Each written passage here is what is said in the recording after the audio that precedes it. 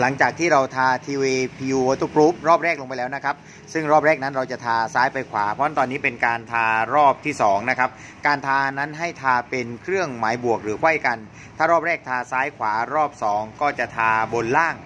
นะครับ เพื่อเป็นการประสานกันนะครับ การทารอบ 2 นั้นเราทาพอเปียกๆนะครับ แล้วเดี๋ยวจะใช้ตะข่ายไฟเบอร์วางลงไปบน TUA PU Waterproof จากนั้นเราก็วาง TUA Fiber Mate ไปบนเนื้อ PU นะครับ แล้วก็ใช้เกลียงนะครับ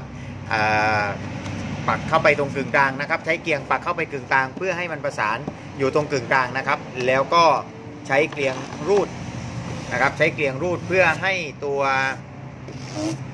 ตะข่ายไฟเบอร์หรือทีวีไฟเบอร์เมดนั้นฝังลงไปในเนื้อของ PU นะครับ